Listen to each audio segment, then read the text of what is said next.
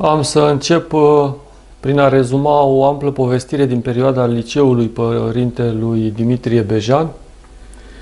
Deoarece era foarte bun la istorie, a fost desemnat să participe la un concurs organizat la București, la care participau cei mai buni elevi de la cele mai bune școli din țară. Șederea în capitală dura o săptămână, elevii țării se cunoșteau între ei și își se sudau prietenii. În acest context, părintele cu încă doi prieteni, între care unul era nimeni altul decât Constantin Virgil Gheorghiul, autorul de mai târziu a romanului Ora 25, după care s-a ecranizat filmul Ora 25. Deci cei trei au uh, hotărât să meargă la Capșa ca să vadă scriitori. Uh, pe toți trei îi unea pasiunea pentru literatură citeau mult și cunoșteau cu amănunte viața marilor și micilor uh, scriitori ai vremii. Așadar, uh, părintele avea o sete de cunoaștere încă din uh, vremea liceului. De, de cunoaștere, înțeleg, și de literatură, de istorie și cumva uh, a avut un traseu, chiar nu uitasem de uh, această prietenie cu Virgil Gheorghiu. E interesant, interesant și din punct de vedere al, al destinului fiecăruia. Unul în, în răsărit, celălalt în apus. Și cu treceri prin uh, mai mulți ani, celălalt mai puțin, prin uh, zona aceasta cumva de, de lagăr. Aici mi-a plăcut uh, uh, sintagma că se duceau să vadă scriitori. Mi s-a părut cumva pate... Da, e citată din care. Mi s-a părut cumva așa asociativ, cumva patericală. În sensul că se duceau să vadă pe Ava Cutare, nu doar, nu doar să audă sau să asculte. Că aici, domnule, mă duc să, să văd scriitori. Nu neapărat să, eu știu. Acum nu mai știu dacă astăzi mai există un capșa. Dacă mai există astfel de de dorințe. Dacă mai este o astfel de situație, cred că lucrurile s-au, cred că s-au fragmentat foarte mult, cred că sunt uh, uh, mult mai separate grupurile, să zic, uh, de scriitori, să zic, mă gândesc. Și cred că nu, nu știu să fie un, un cap și poate nu, sunt, nu am cunoștință, să zic, uh, dar uh, era important că era un loc. Și în același timp preocuparea aceasta a unor tineri uh, într-un fel de a vedea modele, de a fi cumva în vecinătatea și în proximitatea lor, chiar în această sferă uh, a scriturii, a literaturii. Acum, probabil că vremurile sunt uh, decupate cumva de la această latură a scriturii. Cred că trăim mai degrabă într-o lume a spectacolului cumva. Uh, ceea ce nu e rău nici această regăsire a unor modalități chiar vizuale de expresie în această zonă, poate mai puțin acesta, aceasta a scrierii sau a literaturii. Într-un fel, că există această lamentație, eu știu că nu se mai citește, probabil că nu mai citește, probabil important e să existe totuși această uh, deschidere către comunicare în varia forme, să zic, și expresii, cred că asta e important. Iar aici e și frumusețea, totuși și preocuparea unor tineri de, de odinioară care cumva au confirmat uh, prin ceea ce au făcut, să zic așa, în viață, într-un fel. Uh, dacă vrei, chiar și literar. Pentru că vorbim de Părintele Dimitrie Bejan uh, în legătură cu uh, cărțile, cu cărțile lui, nu? Și care cumva sunt în, în același timp și o pagină de istorie a unei vieți și în care, nu, nu mă pricep să zic așa, dar în care zic eu că se, gă, se găsesc și uh, elemente literare. E cumva această căutare adolescentină dincolo de parcursul vieții și a găsit uh, o, o punere în pagină. Și este extraordinar că uh, s-a realizat acest lucru. Pentru că are Și un, dincolo de, sigur, și la Părinte Dimitrie Bejan, se vede și o lectură în afară de această pasiune pentru scriitori și pentru literatură, se vede și o lectură în scrierile sale, o lectură a vieții într-o cheie duhovnicească. Și a unei vieți duhovnicești, cumva, uh, cum zicea Părinte Săraie, o cunoaștere a Dumnezeu în împrejurările concrete ale vieții. Adică asta mi se pare mm, să vezi cumva uh, lucrarea lui Dumnezeu uh, cumva care se, mm, se înscrie în viața, în biografia unui, unui om, cumva care merge cumva în răspărul istoriei, să zic așa, sau în, în, în măruntaiele uh, unei istorii, să zicem așa, uh, făcute, nu născute. Cum au, au avut 20-25 de ani aproape de lagăre și, și închisori, nu? Și din punctul ăsta de vedere este uh, extraordinar faptul de a surprinde uh, această duhovnicie sau această prezență a lui Dumnezeu chiar în uh, acest traseu existențial uh, extraordinar. Și aici uh, este cumva o, o bucurie cumva și a zice și eu o, o forță uh, a unei asumări care are, cred eu, exemplaritate.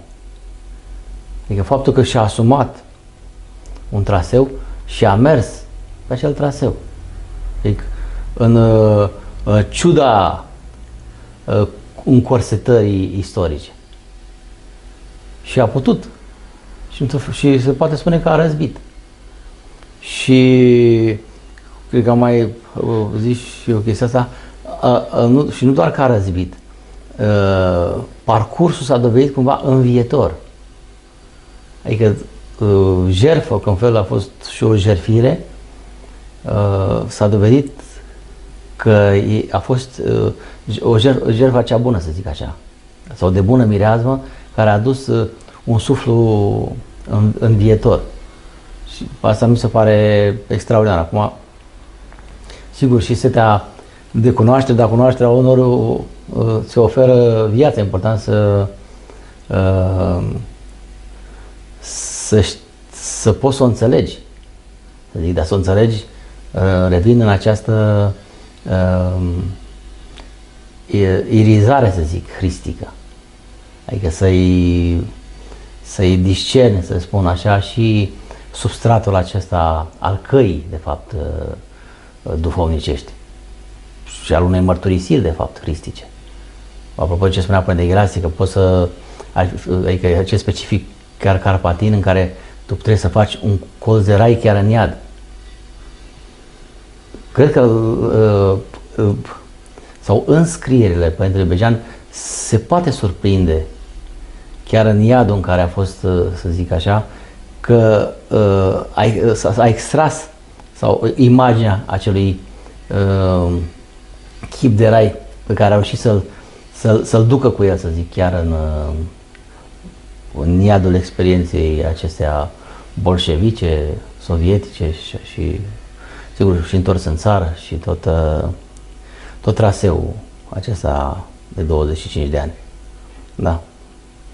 Uh, două observații mi-ar uh, vin uh, referitor la talentul literar al părintelui, de și cărțile sunt atât de frumos scrise, cu atât talent și cu atâtea detalii, adică e surprinzător cum de poate să-și aducă aminte atâtea dialoguri de zeci de ani în urmă. Și uh, aici s-ar putea, mi-a trecut prin cap că e și o și parte de compoziție, dar am aflat la Părintele Ieronim de la Oașa că pe vremea Părintelui Ieronim în sat, oamenii aveau memoria propriei vieții, totală. Adică dacă pe un om de 60 de ani întrebai ce ai făcut acum 25 de ani în ziua cu tare, el îți povestea toată ziua cu detalii, cu convorbirile pe care le-a avut cu... Și Părintele Ronim a spus că și-a pierdut această memorie când a început să, când a plecat la oraș și a început să frecventeze școlile vremii. Sau cum spunea Dan Puric, că în școlile de astăzi se predă Alzheimerul. Adică uh, ne rupem de memoria propriei vieți, de memoria înaintașilor uh, uh, adevărați, că pe care ar trebui, ar trebui să-i cunoaștem, de memoria colectivă, pentru că tot Părintele Rănâni spunea că nu aveau doar memoria propriei vieți, ci aveau și memoria colectivă, memoria satului. Știau tot ce s-a întâmplat în sat. Asta vis-a-vis -vis de modul în care scrie Părintele în cărți. Uh, deci uh, era reamintire fidelă a ceea ce... Talentul e doar modul în care o... Uh, la transpunere. Transpunere. Da. Și cealaltă ar fi că uh, capșa de pe vremea aceea nu era deloc capșa de astăzi, în sensul că atunci era o stratificare socială care nu permitea oricui să meargă la capșa. Ei, pentru ei a fost o mare îndrăzneală, au, au avut foarte mare cumpănă să, să îndrăznească să se ducă pentru că elevii n-aveau ce căuta într-un cerc atât de select considerat, nu material. Poate era și, avea și un standard, să zic, de... Dar uh, era un cerc în care nu îndrăzneau să se ducă din cuvință, nu din că nu-și permiteau. Dar totuși au zis, uh, mai ales uh, Constantin Virgil Gheorghiu a fost îndrăzneț și a zis că mergem orice ar fi. Mare lucru și la cea bună. Da. Uh, interesant că uh, Virgil Constantin uh, Gheorghiu era încă de pe atunci foarte convins că va deveni, dar și foarte hotărât să devină un mare scriitor. De asemenea, părintele Dimitrie Bejan scria undeva, extrag dintr-o relatare din vremea studenției, iar eu, mic și sfrijit, dar ambițios foc, doream să mă realizez pe toate planurile. Până la urmă s-a văzut că n-am realizat nimic. Da, și probabil s-a nu realizat nimic, poate aparent. Din, Ironic, sigur. autoironic. Da. Dar până la urmă realizarea a fost realizarea în planul lui Dumnezeu, să, zic, să spunem astfel și uh, această mărturisire de credință, care de fapt uh, e o esență a realizării umane. Și, și de fel, mărturia biruinței hristice prin mărturisirea credinței și asumarea ei, să zic așa, în răspărul unei, unei istorii care, să spunem așa, face pe tine, să zic, uh, într-un astfel de limbaj. Dar, uh, pe de altă parte, e, frumuse, e și această frumusețe a, a tinereții care are dorință. Adică și firesc să fie așa. Să, și să, să, să, să, dorință de realizare, chiar pe toate planurile. Adică bine ar fi ca și tinerii de azi să aibă, să aibă această dorință de realizare și pe toate planurile. Adică să vrei să ai o dezvoltare. Nu doar o, să zic așa, unilaterală. Și cât mai adânc, la fel, poate și din perspectivă uh, spirituală trebuie să ai uh, deschiderea de realizare personală. Adică să nu iei o duhovnicia doar în sens de defensiv, să zic așa. Și, și unul care se asumă în serios talanții pe care trebuie să-i mulțești, trebuie să, să rodească și să-i, să și împărtășești. Deci, Părintele Ghelasie, domnule, ă, când împărtășești roadele tale, atunci ă, ă, e cu adevărat și, cum zic, ești într-un chip al împărăției al comuniunii. Ai și roade, dar le și împărtășești cineva să se bucure de ele. Și asta, asta atunci e realiz, realizarea cumva uh, pâr, uh, pârguită, împlinită. Și această ambiție cumva este, este extraordinară. Pe de altă parte, raportat la această ambiție, ce, ce farse îți face contextul istoric. Uh, și unde te poate duce, cum te poate hărțui, să spunem, da? Și totuși trebuie să, să, să, să reconfigurezi cumva traseul uh, vieții și să ai capacitatea de la să treci de la o asumare, proiect că atunci vorbești de planul, proiect că avea și o, o proiecție, să zic, asupra uh, acestei realizări și la să, să reconfigurez traseul, să uh, accept că se schimbă traseul și atunci merg la firul ierbii. Și realizez, sigur, spune că n-am realizat nimic. Da, sau Dar de fapt a realizat cel mai mare lucru. Cel mai mare lucru. Sigur că poți să spui că există, nu există o singură, nu există o singură, un singur traseu, să zic, al vieții, dar uh, cel ales sau și ales și de Dumnezeu și ales și de în răspunsul său uh, este unul mm, exemplar. Pe aceasta, asta mi se pare cea mai, am tot zis, pentru că e o viață de om care ar merita o ecranizare.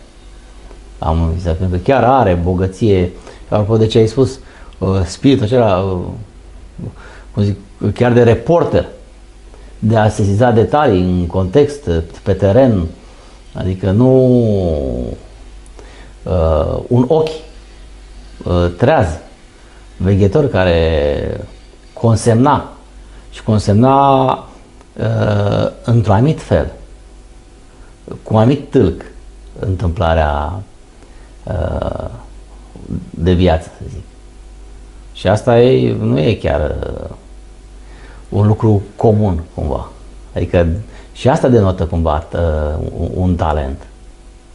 Că pot și asta cumva mie îmi place și din perspectiva asta a unei spiritualități vii creștinești, care are o des- a, prezintă o anumită deschidere chiar în condițiile improprii.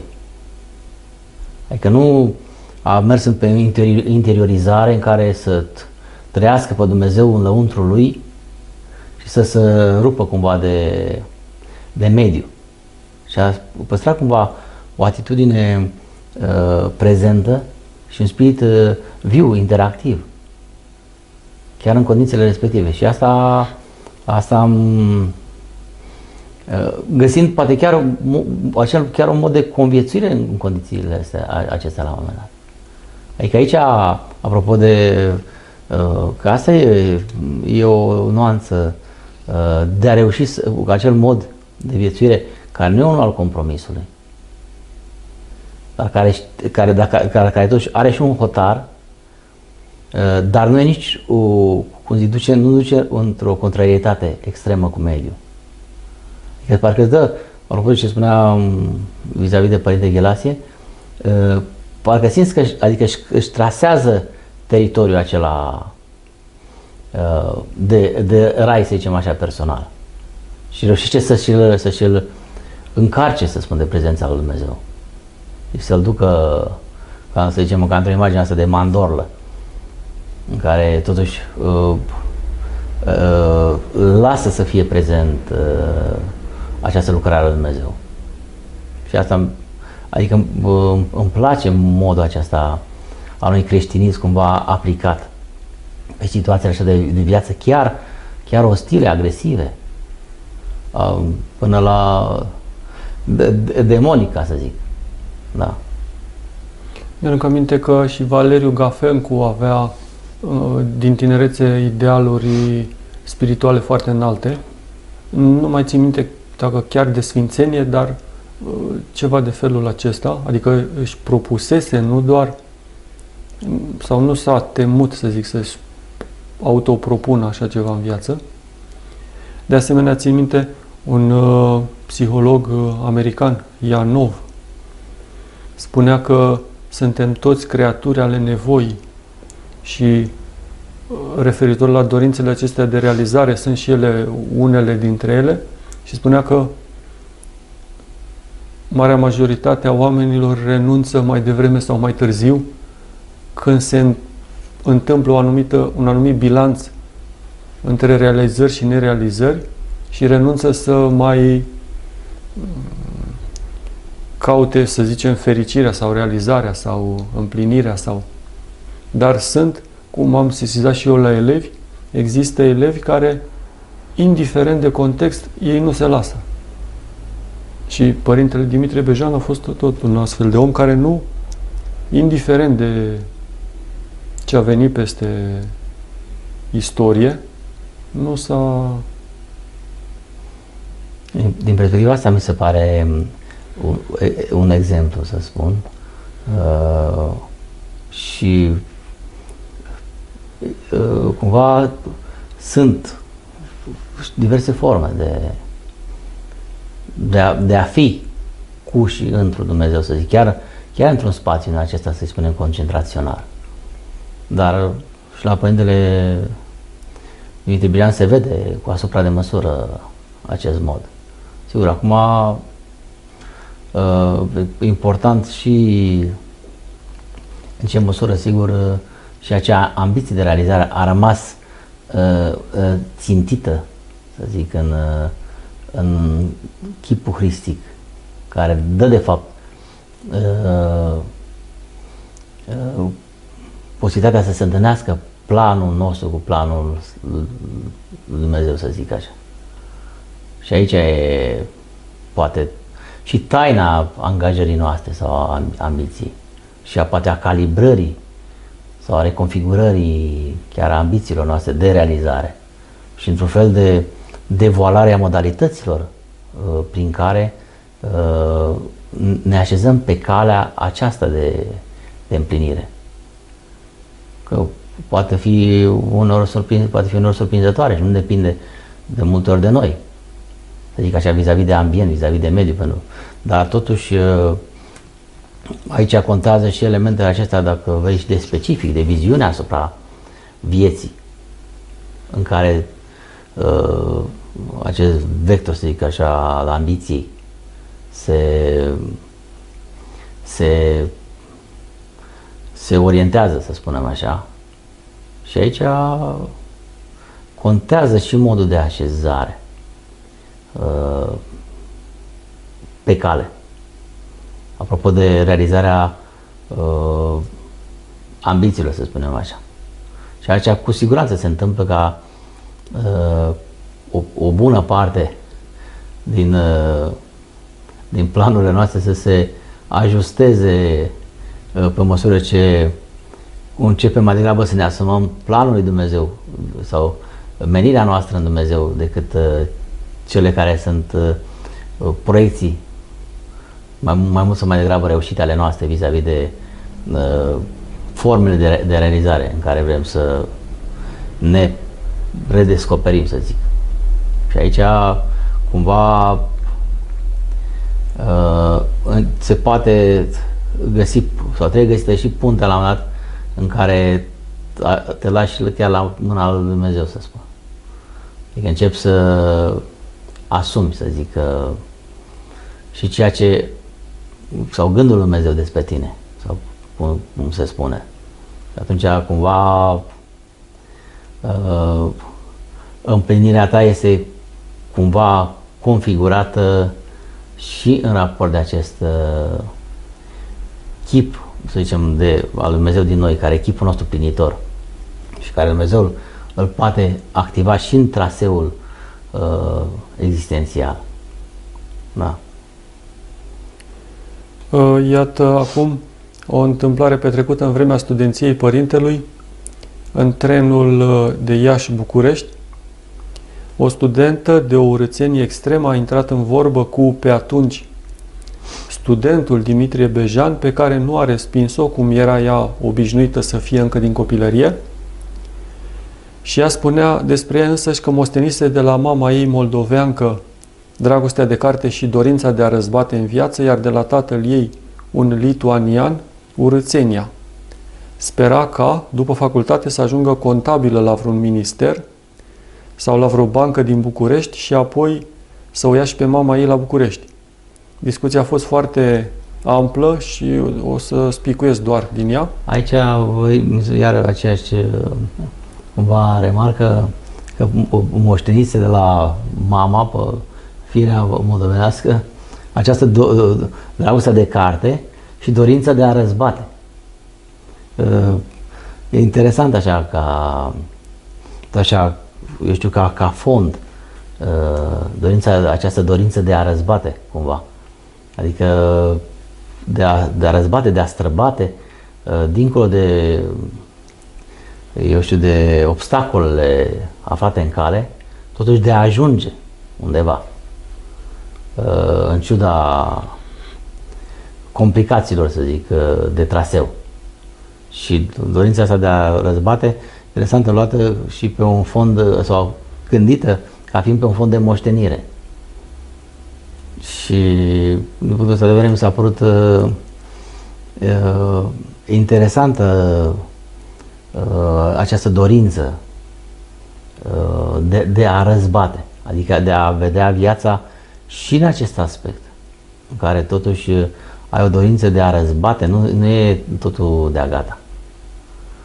Cumva trebuie să ai și această componentă a asumării uh, unei treceri prin uh, situații.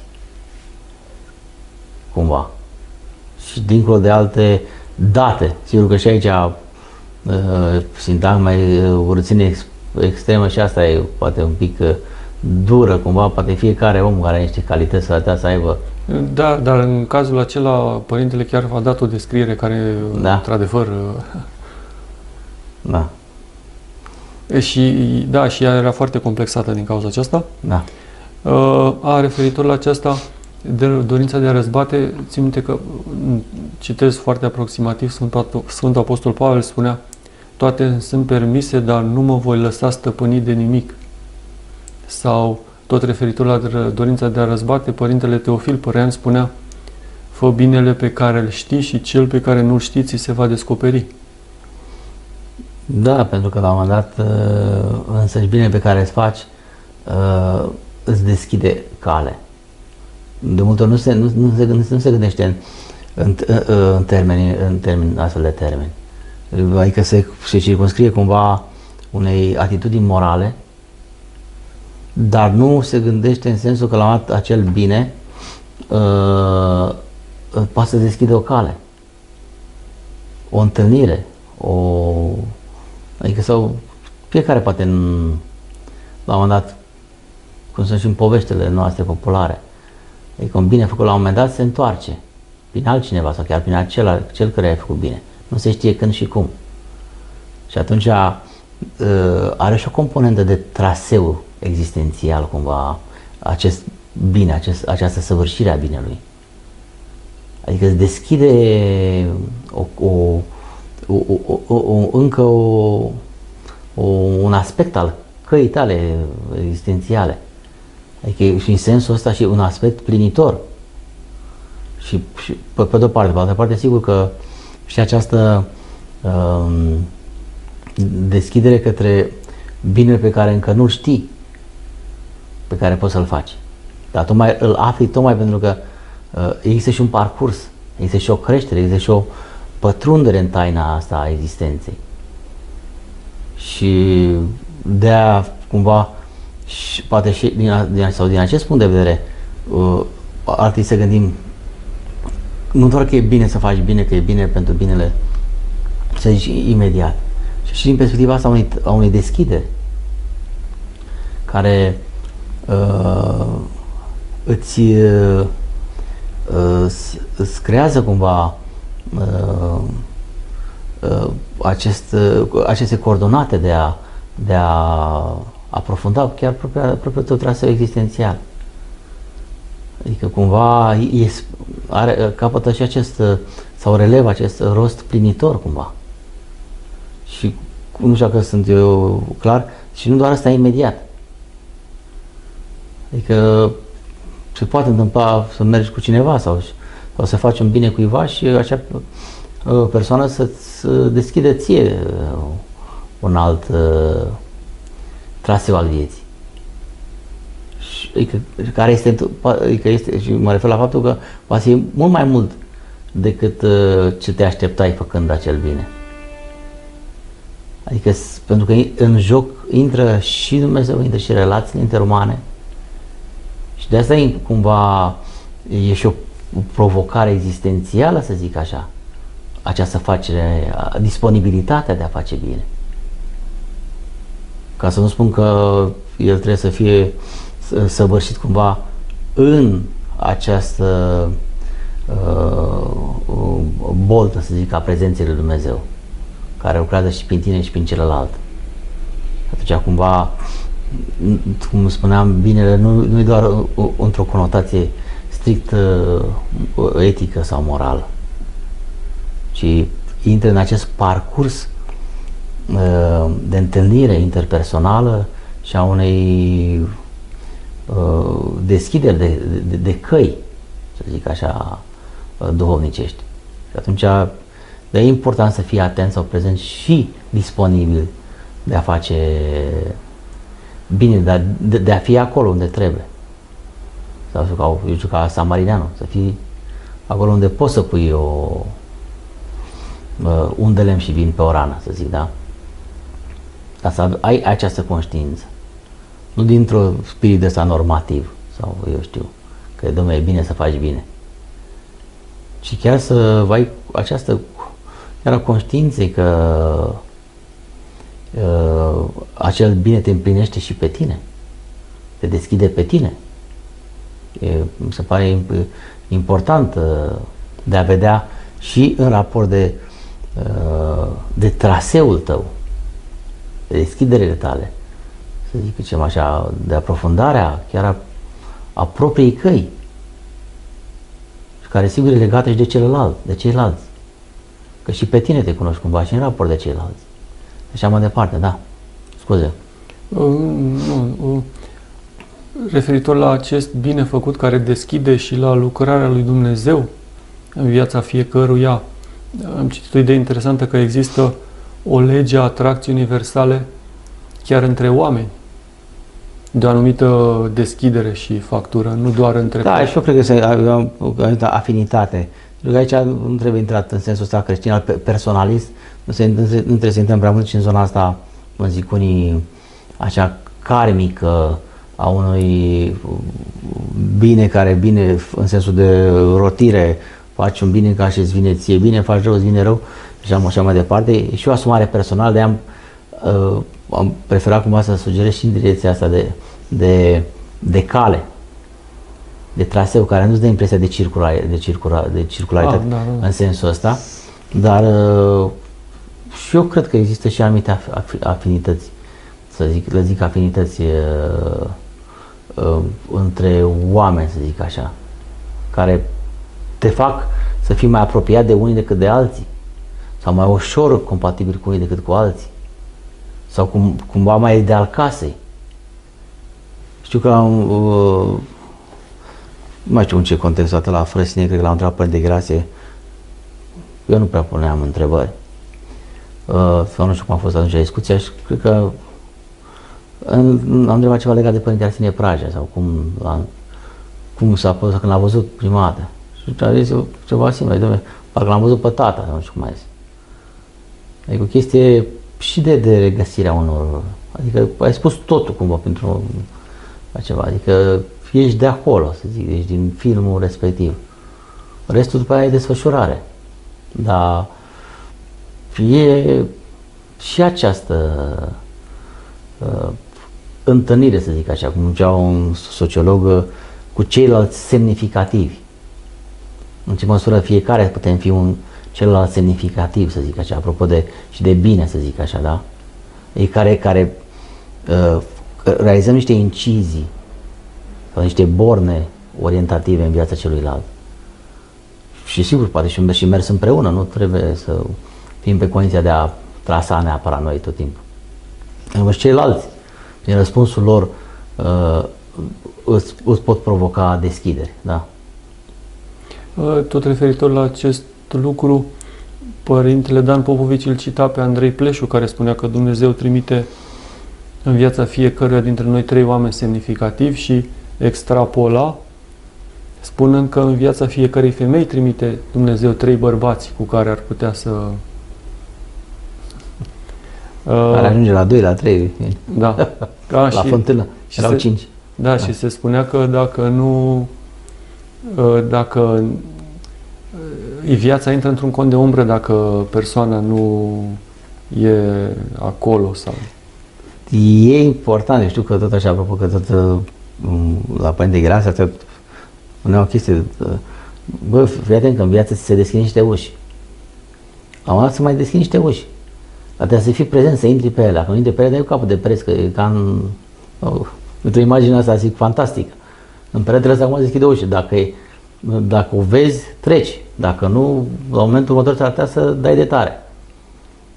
Asta înseamnă că e nevoie și de un spirit de prezență, de atenție vis-a-vis -vis de, chiar, de vis-a-vis de, chiar vis-a-vis de ceilalți semnificativi. Sau vis-a-vis de ceilalți care îi faci bine. Că nu știu cui îi faci bine. Nu, parcă, nu, cu, cu Patriarhul Iustinian, parcă, nu, parcă l-a găzduit și l-a omenit pe Gheorghe Udej, parcă. Era un preot pe aici, cred că prin Vâlcea, dar nu? Peste orice considerent. Și nu l-a făcut cu gândul de a ajunge vreodată în propoziție sau funcție. L-a făcut pentru a-l face. Dar sunt și de, deschideri care se produc când nu știi pe cine, cine pe cine ajută la un moment dat chiar foarte clar. Sau că te ajut și pe tine făcând bine. Sau îți, îți, îți, îți, îți cum am spus, îți deschizi oportunități de, de, de, de creștere sau de, de împlinire. Deci nu e doar simplu, cum am spus, bine că ai dat o chestiune. Că nu știi totdeauna cui faci cu, cu adevărat. Dar asta poate să fie ție o deschidere. Ceea ce este... De aia trebuie să ai această disponibilitate, această deschidere și acest spirit uh, uh, de, de, de atenție, de prezență. Și, și vis-a-vis de a, face, de a face bine, să fii atent, să fii disp- Asta înseamnă să ai, apropo de asta, poate chiar uh, un fel de educație în acest sens. Și cum ai zis, nu în sensul apăsător a unei moralități, că e bine să faci bine, ci cumva un bine dat de, de, de, de ineditul, de, eu știu, de prospețimea, de bucuria întâlnirilor. Uh, de, și a chipului Dumnezeu chiar în celălalt. Și atunci asta poate te așează mai bine într-un viu uh, al, uh, al relaționării. Nu doar, cum ai zis, în sensul, domnule, că să faci uh, bine, milost, faptele milostinei trupești, milostinei duhovnicești și așa mai departe, ca un, după o învățătură. Și de a fi cumva, exact cum poate se vede că tot la Părintele Dimitrie Bejan. Adică acest bine care uh, intră în relație, intră într-o legătură, uh, aduce, aduce acel plus de viață. Și asta, asta, asta se, se vede, adică îmbogățește propria persoană. Da.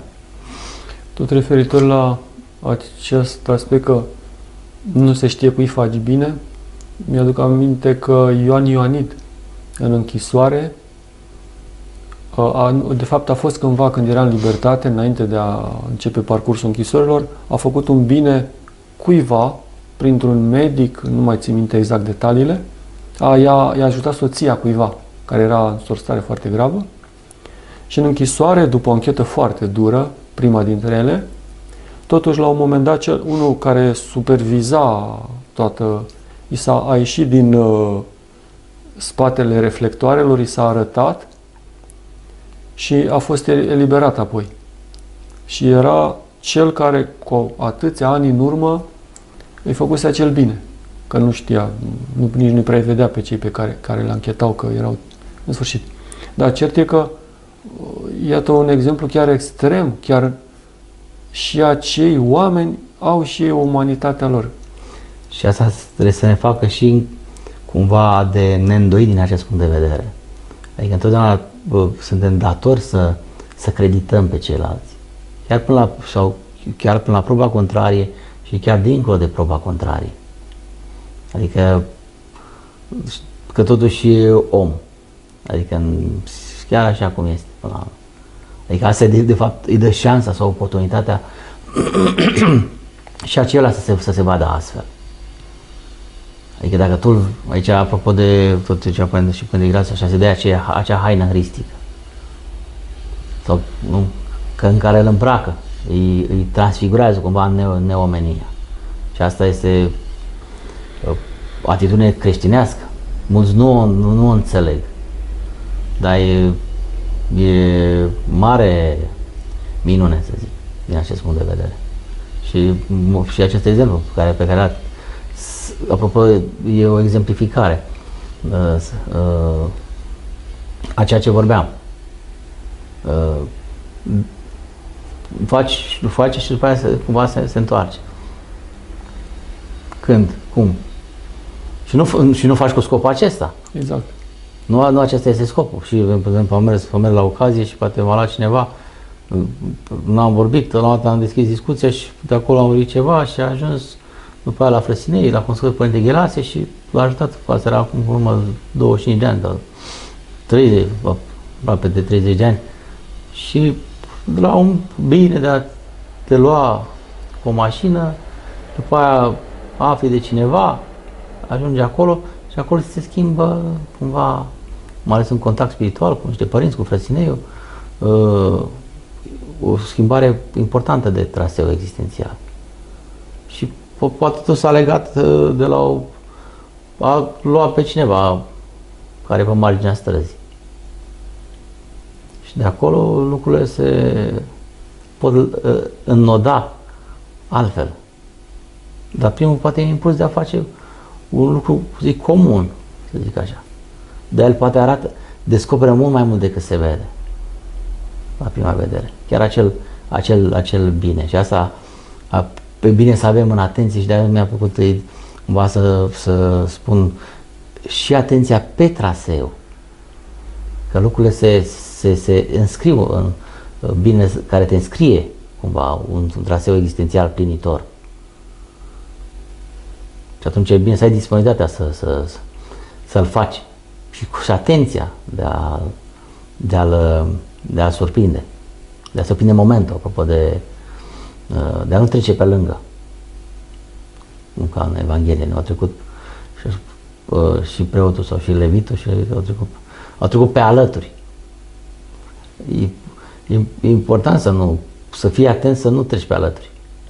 Că de multe ori trecem, adică nu avem această uh, atenție, da? Uh,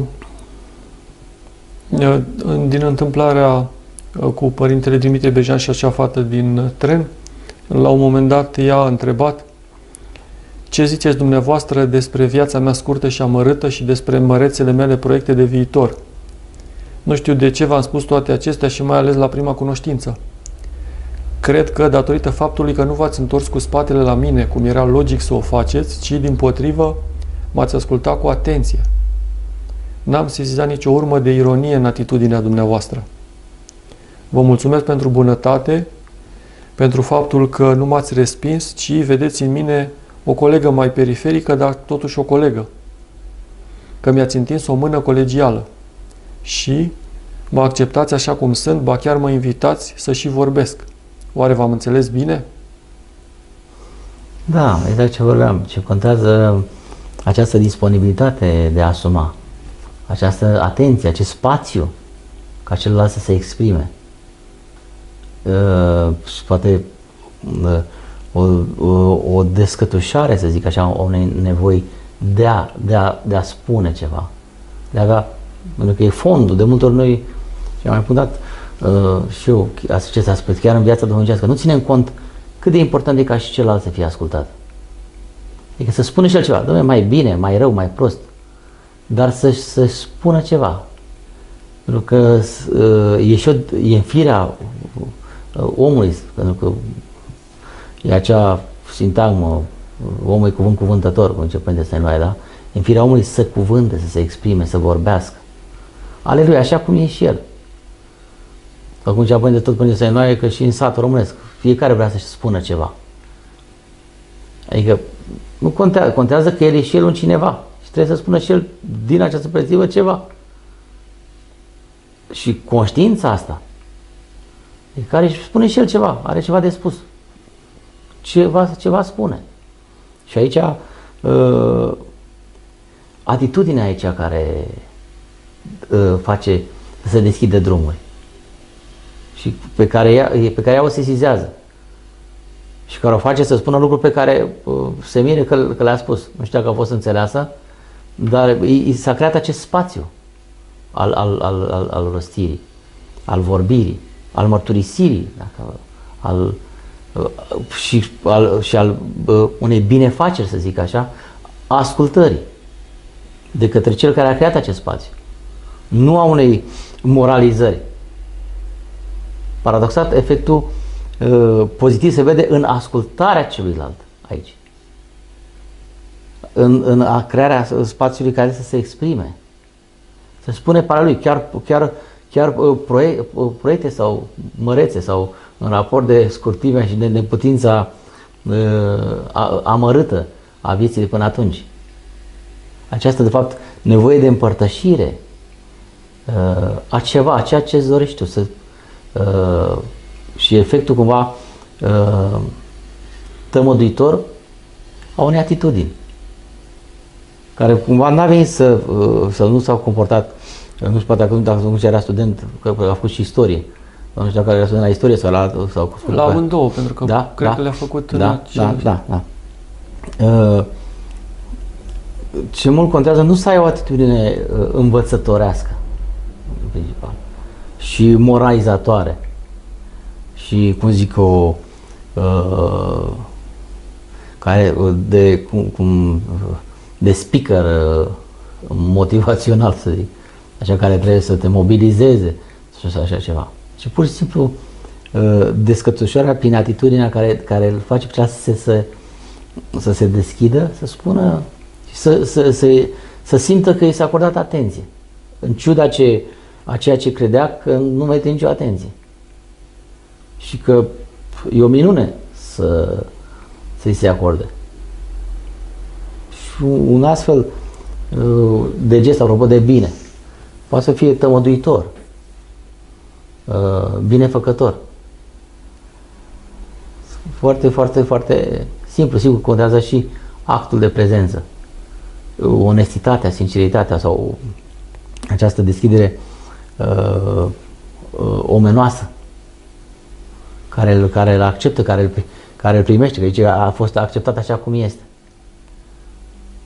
Adică totuși, dincolo de celelalte sau de, sau pomenit de urăține sau așa ceva, totuși Uh, acceptarea că până la urmă omul nu e vinovat. Uh, de, ta, de sau anumite tare uh, care vin chiar pe, pe filiera unor moșteniri, nu? Până la urmă, dar totuși are și omul acela un suflet care tânjește către ceva. Și faptul de a crea acest spațiu este, este o binefacere și ce mult contează, apropo și ca și, și, eu, și eu personal țin la acest aspect, chiar ca formare, să-i spunem duhovnicească. Adică să ai atenția ca și uh, cumva aceea care creează un spațiu în care și celălalt să simte că și el contează. Dincolo, dincolo de celelalte considerente, de măsura vieții, de neputințe, de orice alte lucruri, că și el contează. Și asta, asta, asta chiar, uh, chiar e, e o șansă sau o oportunitate pentru celălalt ca și el uh, să se afirme prin ceea ce are el în, în fond. Că nu există un fără, fără un talent. Un talent, dacă e ăla, trebuie să și-l mulțească, trebuie să-i crezi, tu ești dator să faci, să, să creezi acest spațiu. Și nu trebuie să, fii, să te impui. Să zic, nu?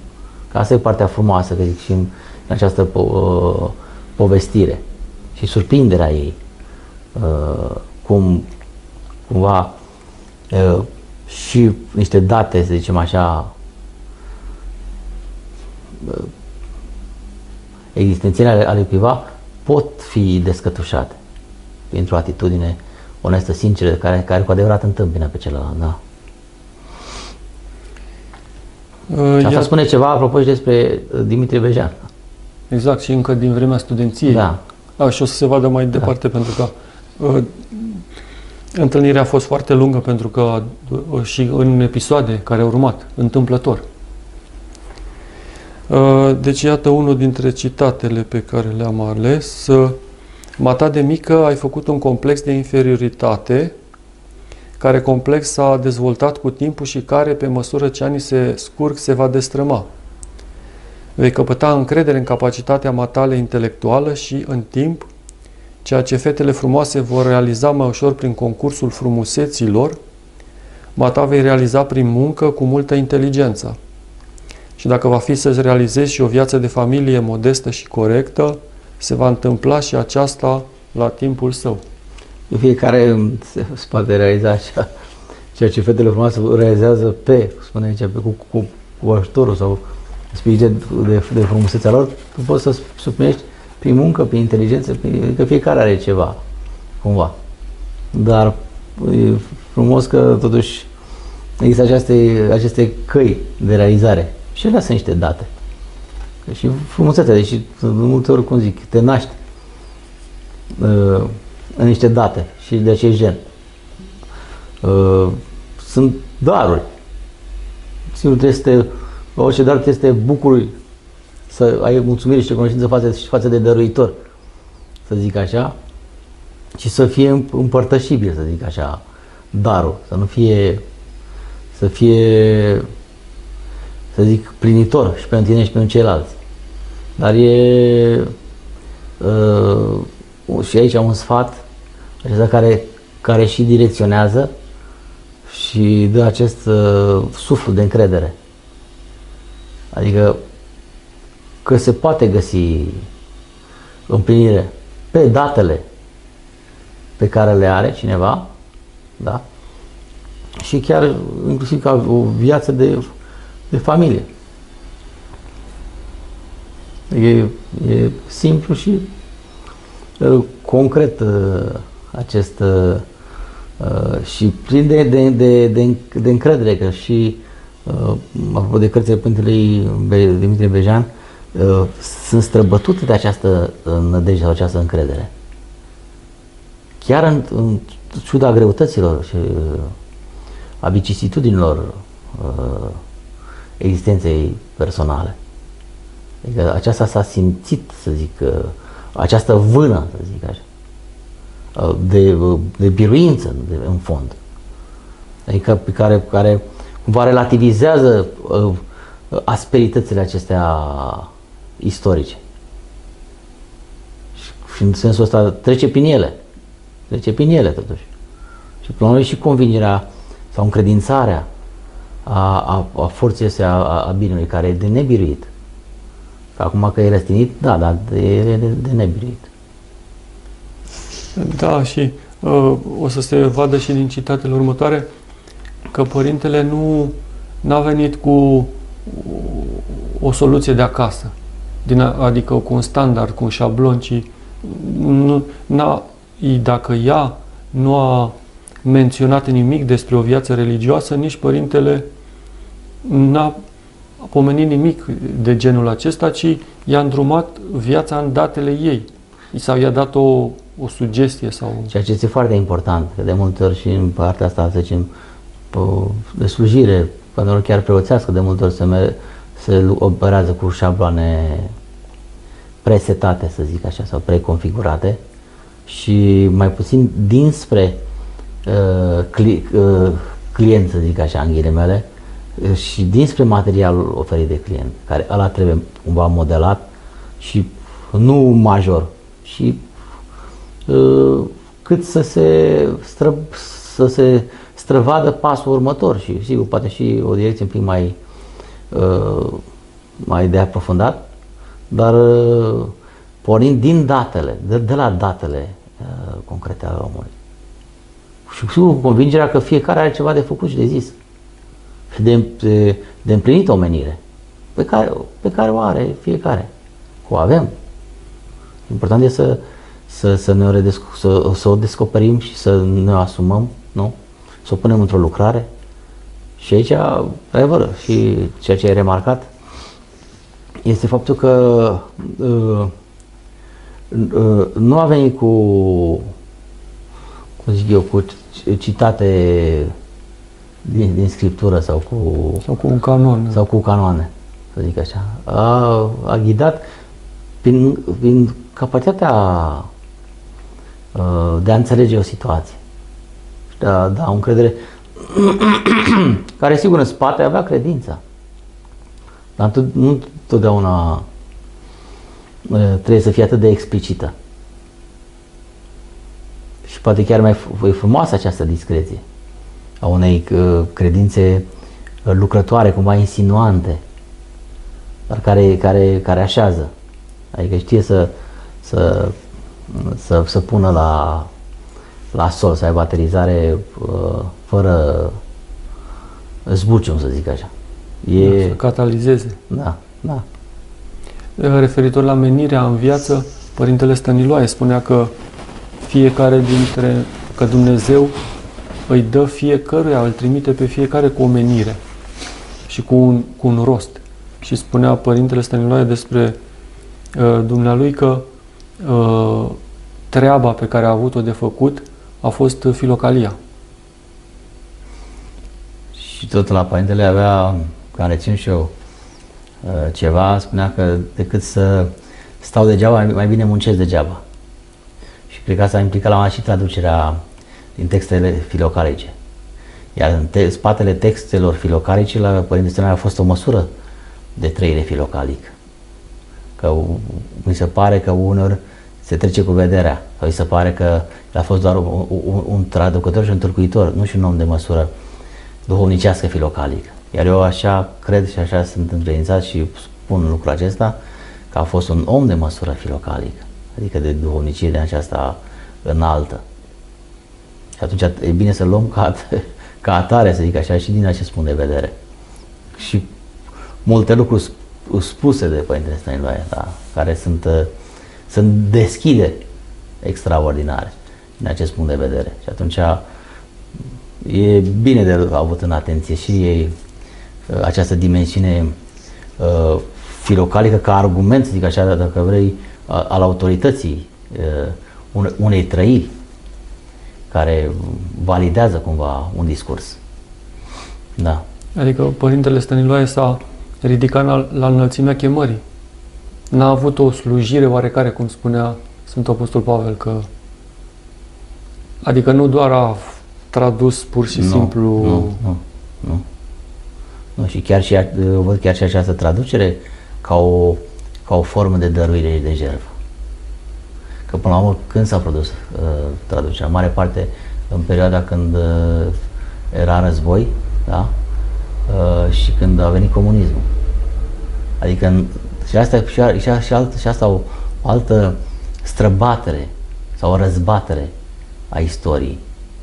În condițiile în care uh, și cumva o viziune care înțelege relativ, relativ, relativismul acestui curent, marxist, neomarxist, comunist, sovietic și așa mai departe. Că în spațiul acesta a găsit de cuvință ca să deschidă orizontul spiritual de desăvârșire. Sfintele nevoințe ale desăvârșirii filocalice, da? Adică în acest spațiu ostil, care nu avea nicio legătură nici cu Dumnezeu, nici cu omul în sensul de ăla, omul nou, în fine. Și chiar în acest spațiu am mers cumva uh, să, uh, în, să, în sensul de a afirma acest chip hristic al omului, al, al, al unui chip al omului uh, filocalic, să, să rămânem așa în, uh, în termenii aceștia.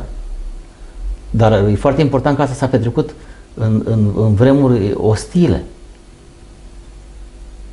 Și, și aici ce înseamnă uh, vederea, ce înseamnă străvederea, ce înseamnă această nădejde totuși că uh, o să fie și oameni care să, să se folosească de această lucrare. În ciuda aparențelor. Că nu, că nu va fi. Că și ăștia se credeau veșnici.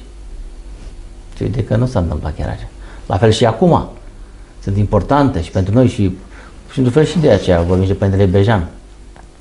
Ca să aducem în atenție și faptul că, se, că s-a putut și se poate. Și se poate răspunde într-un mod uh, autentic, frumos și uh, profund în același timp. Unei atitudini acestea uh, perverse, zic, uh, a istoriei. Și atunci, și din acest punct de vedere, și, uh, avem uh, exemple. Și, și în vremurile care sunt și care vor să urmeze, încă trebuie să fim extrem de, de, de plini de nădejde. Că, până la urmă, biruința e cea hristică. În Hristos rău a fost biruit. Important e să ne asumăm noi chipul biruinței hristice. Să-l facem în noi uh, lucrători și viu și în ceilalți, sigur. Adică ceilalți o să-și facă lucrarea lor, da. Între altele i-am mai spus, nu te considera inferioară tuturor, ci din potrivă egală tuturor. Egală în dreptul de a cuceri viața prin luptă, dar și în încercarea de a cuceri puținele bucurii de care avem parte pe pământ. Noi, rândul acesta de oameni, trebuie să trăim frumos ca în lumină. Astfel, fă, altfel, fără această busolă, te vei prăbuși și nimeni nu te va mai ajuta să te ridici. Curaj, Lidia! Da, vezi, asta se zicea, vorbim de, de, de, de încredere și de curaj. Și, și expresia aceasta, în, în rândul acesta, noi rândul acesta de oameni. Parcă sunt rândul, rândul de oameni care uh, parcurg istoria și ne vine și nouă rândul, să zic așa, și poate uh, paradoxal, în ciuda întunericului, să zic așa, acestui veac, uh, noi trebuie să trăim frumos ca în lumină. Adică asta, apropo de, duh- de duhovnicie. Deci aici nu, nu poți să nu vezi creștinismul de primă mână în formula asta. Chiar dacă nu este, uh, cum zic eu, explicit. Și faptul că fi, rândul de oameni care suntem și noi, chiar în, în, în, în contrast cu întunericul acestui noi, trebuie să suntem datori să trăim frumos ca în lumină. Și și cu curaj. Și un curaj care să devine și el cumva uh, uh, contagios. Pe de altă parte îți vorbește de și asta îmi place. De a cuceri uh, viața. De a, de a cuceri chiar puține bucurii. Adică există un anumit angajament uh, de a-ți, uh, de a-ți împlini viața de a o rotunji. Chiar pentru bucurie. Parcă toată, aici era parcă o sintagma unui, unui rabin, că nu trebuie bucuria pentru care n-am pătimit. Adică uh, și aici trebuie să, chiar puține uite, trebuie să le cucerești. Trebuie să, trebuie să ai deschiderea să, să, să străbați la ele. Adică nu, asta înseamnă cumva uh, uh, trebuie să ai această insuflare de a, de a, de a răzbate sau de a cuceri. Adică nu e viața, nu, nu trebuie să pătimești, să zic așa, viața, pur și simplu. Să o suportăm. Să o suportăm. Trebuie să ai încă, asta înseamnă să ai uh, acest, uh, sună un pic prea, să spun, de, de determinare, uh, acest, eu știu, dor de, de, de, a, de a o realiza, de a, de a, de a o împlini. Și aici sigur că e de, de, de, a, de a o realiza în, în, în frumusețea ei. Adică ea, sigur că are și uh, contradicțiile și toate nu, amăgirile respective. De a trece să, ca să ajungi la, să ajungi la, să cumva la, la o taina ei, îți trebuie un anumit, uh, un anumit răspuns, o implicare specială, să zic așa. Adică din adâncul sufletului tău, se spune așa în, în această formulă. Adică chiar și bucuria trebuie să, uh, și dacă sunt puține, și trebuie să le cucerești. Nici la că nu vin de a, de a moca sau de a îmboulea peste tine, să zic așa, bucurile vieții. Parcă trebuie să le, să ai ochi să le, să, să, le, să le vezi sau să le deschizi ușa dacă îți bate la ușă. Adică cumva se vede și aici uh, acest curaj și, și cumva, dacă vrei, nevoia de atitudine, de, de, de acțiune. Adică nu e o chestie uh, contemplativă. Că curăță-te, uh, despătimește și atunci o să ai o bucurie numai cerească. E și o, o, o, o lansare, să zic, în miezul vieții. În, cumva de, de, de, de a pătrunde la, la, la un fel de taina vieții. Sau chiar a, a, a redescoperi un fel de, de, de acea bucurie. Trebuie să, te, să, să, trebuie să o cucerești, trebuie să fii dispus să, să ajungi la ea. Că așa s-ar putea să nu ai partea de aia dacă ești uh, amorțit. Și aștept să pice de undeva și să vină tot timpul. Adică trebuie să te cumva, să zic, deși poate nu sună, uh, să te și lupți, să zic, adică trebuie să ai și prezență, să ai, să ai determinare cumva, să faci uh, o, o, o priză profundă chiar a vieții.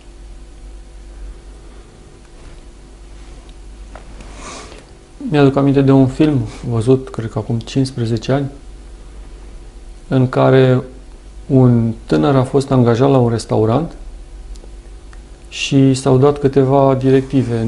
Nu ai niciun cuvânt de spus. Uh, dacă nu știi ce ai de făcut, nu te duci, nu veni să întrebi, ci caută cea mai dificilă sarcină pe care o găsești și rezolvă și încă vreo 5-6 din acestea, adică nu, nu însemna nimic acolo. Și tot filmul, el făcea curat în bucătăria restaurantului, toți își băteau joc de el, îi turnau lături pe, peste tot și el făcea lună. Și iară îi făceau mizerie și el tot timpul așa s-a desfășurat filmul. Păcat că nu mi-amintesc îndrumările acelea de început, pentru că erau formidabil o radiografie, adică el nu nu avea nimic, nu însemna nimic. Deci el, și el, a, totuși, cum a spus dumneavoastră acolo de fata, mai, mai de mult de fata moșului, că a găsit cuptorul, l-a reparat, a găsit pomul plin de umizi, l-a curățat, a găsit. Da, dar asta, asta și din ce citat A, și, scuze, și la, referitor la rândul acesta de oameni. I-a spus, deci după ce a dat acele uh, directive, i-a zis, e rândul tău, piciule. Să arăți, într-un fel și asta, să arăți ceea ce poți și ceea ce ești. Că și asta este un aspect. Și chiar și rândul nostru, aveți, chiar, chiar ca generație. Trebuie să arătăm ce putem și noi. E o vreme dat de crește și chiar de rodire și, și rândul nostru trebuie să arătăm ceva. Adică preluăm ceva cu rădăcinile, dacă le înfigem bine în, în pământ, să zic așa, de neam și strămoșesc și ce roade oferim noi. Ave, legăm acest rod, această uh, uh, continuitate și suntem datori să arătăm ce facem sau ce putem, e la rândul nostru. Și asta, asta înseamnă răspuns. Răspuns înseamnă să, să, să, să fii prezent în acel răspuns. Să, să ai atitudine. O atitudine care nu este din frumos și din lumină. Dar frumos și lumină nu înseamnă să fii uh, bleg și așa balegă, nu? Adică aici mi se pare asocierea și a vieții, a frumuseții, a luminii cu, cu curajul, cu, cu, cu prezența, cu atitudine. Și cumva cu și cu o asumare responsabilă. Adică la rând, sunt, chiar îmi place, la, adică, și apropo de ceea ce ai spus, și cum e rândul tău? Da, ne vine și rândul, e și rândul nostru. Și o să fie și al altora, Dumnezeu să ajute, care vor fi poate după noi. E rândul lor, să, să aibă conștiința că e și rândul tău. Sau ca într-o uh, competiție de, uh, de ștafetă. Trebuie să poți să, să, să prinzi ștafeta la momentul potrivit și să-ți faci uh, suta aia de metri. Și la final vedem dacă împreună ștafeta respectivă mm, ne duce la o, la, un, la o biruință, zic, da? Dar e important, la rândul tău, să-ți faci foarte bine uh, treaba în datele tale și în contextul care nu-l alegi noi uh, în mare măsură. Dar uh, e foarte important să, să, să ai și conștiință, dacă vrei, de fel, a rândului tău. Și în sensul, chiar în sensul bun. Exact ce ai spus, domnule, trebuie să, în rândul tău, arată uh, um, ce poți și arăți de ce poți chiar când depășești cele contrare.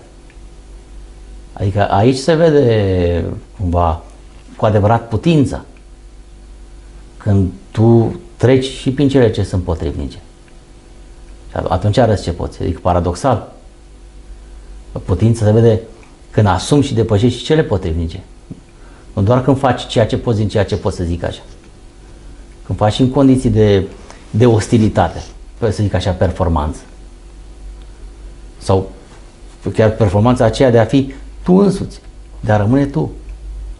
însuți. Dar nu te altera că, eu știu, s-au schimbat condițiile.